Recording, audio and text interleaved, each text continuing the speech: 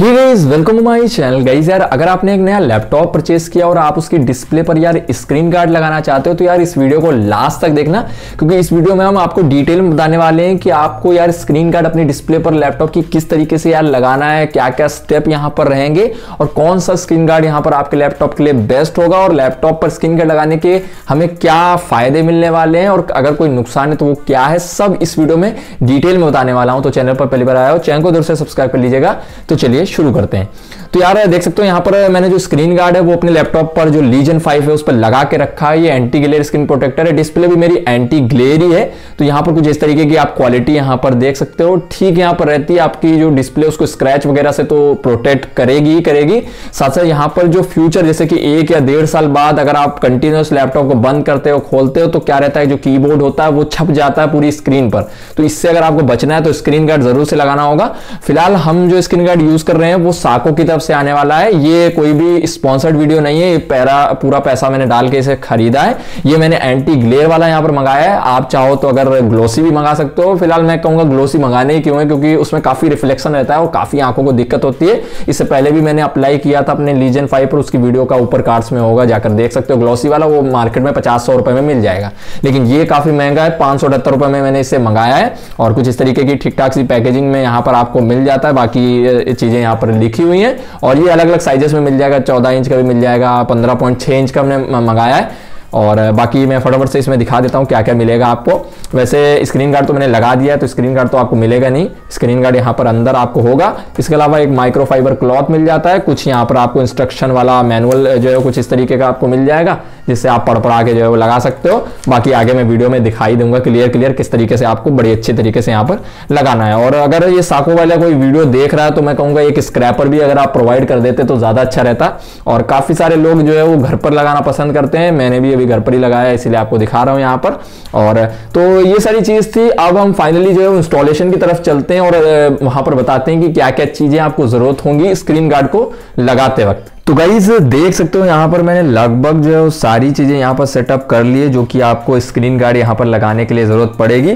और अगर आप स्क्रीन गार्ड लगाने में कंफर्टेबल नहीं हो तो आप मार्केट से भी जाकर लगा सकते हो। फ़िलहाल मैं अपने आप ही लगाना चाहता हूँ। तो उसके लिए आपको सबसे पहले तो आपका स्क्रीन गार्ड चाहिए होगा। मेरे पास ये साको की तरफ़ से आने वाला स्क्रीन गार्ड है। ये एंटी ग्लेयर स्क्रीन प्रोटेक्टर है और इसकी प्राइस लगभग फाइव मतलब काफ़ी ज़्यादा हाई प्राइस वाला ये स्क्रीन गार्ड यहाँ पर मैंने लिया क्योंकि लोकली ये यहाँ पर अवेलेबल नहीं रहता।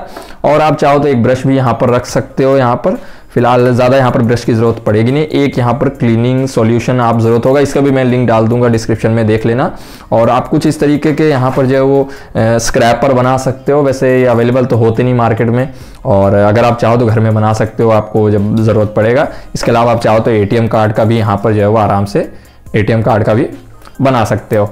तो बाकी सब यहाँ पर चार चीज़ें मैंने सेट कर रखी हैं और इस तरीके से जो है वो हर लैपटॉप की स्क्रीन जो है वो लगभग 270 डिग्री तक की जो है वो फ्लैट नहीं होती तो आपको स्क्रीन को उल्टा करके यहाँ पर रखना होगा। तो एंटी ग्लेयर स्क्रीन है तो मैंने एंटी ग्लेयर स्क्रीन प्रोटेक्टर ही यहाँ पर मंगवाया है और देखेंगे कि क्या क्वालिटी वगैरह रहती है। और फ़िलहाल सारी चीज़ों का जो भी मैंने आपको दिखाया सबकी लिंक डिस्क्रिप्शन में दी हुई है, जाकर चेकआउट करना और आराम से देख लेना। ये हमारा एंटी ग्लेयर स्क्रीन प्रोटेक्टर कुछ इस तरीके से आप देख सकते हो, बाकी बॉक्स में कुछ भी नहीं है।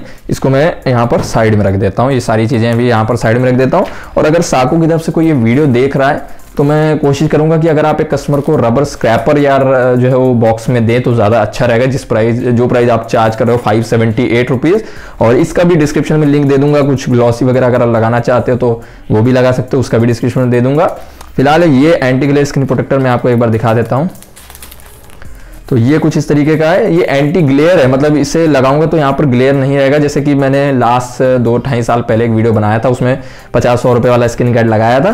तो वहाँ पर क्या था कि जो मेरी एंटी ग्लेयर स्क्रीन थी, वो ग्लॉसी बन गई थी तो काफ़ी ज़्यादा रिफ्लेक्शन करती थी। तो फ़िलहाल मैं इसे इस तरीके से रख देता हूँ तब तक। जब हमें ज़रूरत पड़ेगी तो हम इसे निकाल लेंगे। तो इस तरीके से जो हमने यहाँ पर इसे रख दिया है। तो फटाफट से क्या करना है? हमें स्टेप यहाँ पर स्टार्ट करने हैं। तो फटाफट से स्टार्ट करते हैं।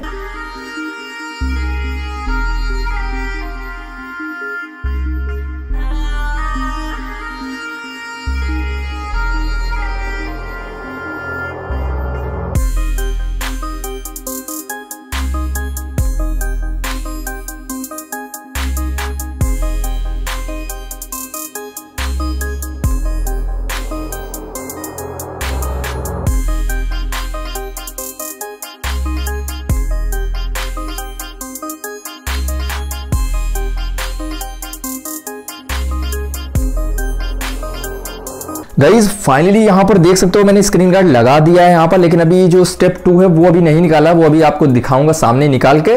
और यार, इनकी मदद से काफ़ी बहुत जल्दी यार काम हो गया, मैं कहूँगा विद इन फाइव मिनट से स्क्रीन गार्ड लग गया है। और मैंने बहुत अच्छे से यहाँ पर लगाने की कोशिश की बट हाँ थोड़ा सा यहाँ पर थोड़ा सा बबल रह गया है, वो शायद यहाँ पर थोड़ी सी गंदगी रह गई, वरना मैं कहूँगा यार, बिल्कुल मार्केट लेवल स्क्रीन गार्ड मैंने यहाँ पर लगाया है। और पहली बार जब लगाया तो काफ़ी गलत लग गया था बबल्स आ गए थे, लेकिन इस बार मैंने कोई गलती नहीं की। इस तरीके के कुछ स्क्रैपर आप ज़रूर से तैयार करके रखो भाई, ये बहुत बहुत ही ज़रूरी है। इसके बगैर आप स्क्रीन गार्ड लगा ही नहीं सकते, आप भूल जाओ।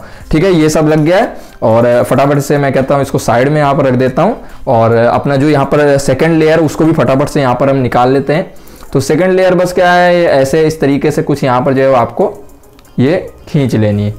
इस तरीके से आप खींचोगे ओ हो हो एंटी ग्लेयर स्क्रीन निकल रही है। मज़ा आ गई भाई। ये देखिए।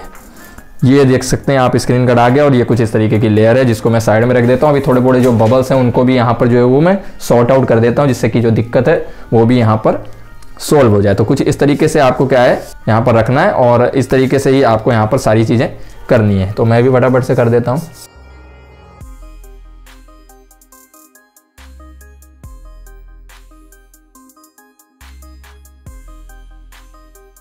तो लगभग यहाँ पर यार पूरा क्लीननेस मैंने मेंटेन कर दिया, लगा दिया बिल्कुल। और अब सीधे मेन स्क्रीन पर चलते हैं जब मैंने लैपटॉप वगैरह को ऑन कर रहा होगा।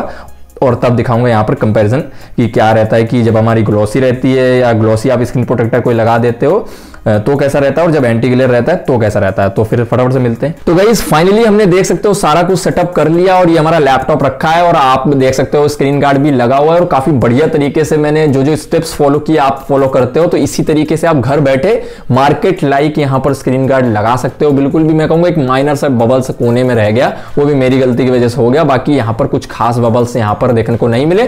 क्वालिटी की बात करूँ तो ऐसा लगता है थोड़ा सा मैं कहूँगा कि जो कलर है वो डाउन हो गया है डिस्प्ले का और डिस्प्ले की ब्राइटनेस थोड़ी सी ज़्यादा करनी पड़ी। तब जाके जो पहले की ब्राइटनेस है वो है। बाकी यहाँ पर जो रिफ्लेक्शन वगैरह होते थे वो काफ़ी कम हो गए। अगर मैं आपको पहले वाला दिखाऊँ स्क्रीन प्रोटेक्टर जो कि ग्लॉसी वाला लगाया हो था तो देख सकते हो काफ़ी ज़्यादा यहाँ पर जो वो जो यहाँ पर रिफ्लेक्शन है वो आँखों में काफ़ी तेज चुभता है यहाँ पर और कुछ भी दिखाई नहीं देता। स्क्रीन पर जल्दी आपको बहुत ज़्यादा फोकस करना पड़ता था। बाकी जो साको का स्क्रीन प्रोटेक्टर मैंने एंटी ग्लेयर वाला लगाया हुआ है, इससे काफ़ी बढ़िया तरीके से यहाँ पर हो गया है। हाँ थोड़ा सा कॉन्ट्रास्ट यहाँ पर कह सकते हैं कि थोड़ा सा आपको फेड मिलता है और थोड़े से व्यूइंग एंगल भी यहाँ पर जो है हल्के से खराब हो गए वरना बाकी आप साइड से तो लैपटॉप देखोगे नहीं, सामने से आप लैपटॉप देखोगे, सामने से देखने में कुछ खास यहाँ पर बुराई नहीं है। और साथ साथ मैं साइड बाई साइड कंपेरिजन भी आपको दिखा देता हूँ, जैसे कि ये मेरा ग्लोसी वाला आप देख सकते हो इधर, ये मेरा यहाँ पर जो है वो आप राइट में जो है वो एंटी ग्लेयर देख सकते हो। दोनों में देख सकते हो ग्लोसी में काफ़ी ज़्यादा यहाँ पर रिफ्लेक्शन हो रही है। हाथ की रिफ्लेक्शन आपको दिखाई पड़ रही होगी और राइट वाले में आपको रिफ्लेक्शन ही नहीं दिखाई पड़ रही है यहाँ पर।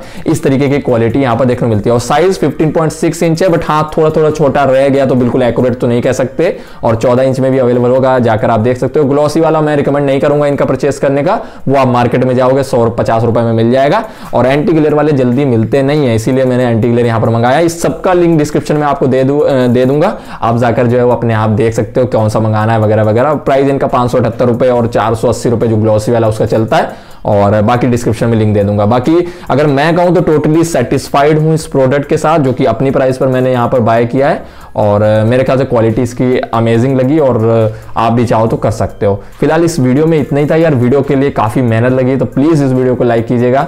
और अगर ये वीडियो पसंद आई तो ज़रूर से वीडियो को शेयर कीजिएगा। और मिलता हूँ आपसे नई वीडियो में। तब तक जय हिंद, वंदे मातरम। Thank you.